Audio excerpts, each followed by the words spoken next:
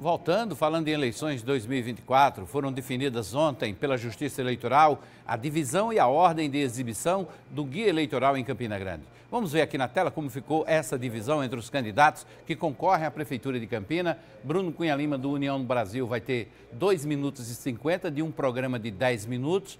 Johnny Bezerra, do PSB, fica com 2 e 42. Arthur Bolinha do Novo tem direito a 1 minuto e 58 segundos. Inácio Falcão, do Partido Comunista do Brasil, a 1 minuto e 36 segundos. Nelson Júnior, do PSOL, a 54 segundos. E André Ribeiro, do PDT, ficou apenas com 28 segundos. Como você viu aí nessa divisão, os candidatos Bruno Cunha Lima e Johnny Bezerra terão um maior tempo de mídia. Junto, juntos, eles vão ocupar 88% dos espaços dos programas de rádio e televisão nas emissoras de rádio. A exibição será das 7 às 7h10 da manhã e do meio-dia às 12h10. Nas TVs, a exibição será de 1 da tarde às 13h10 e das 8h30 às 20 horas e 40 minutos.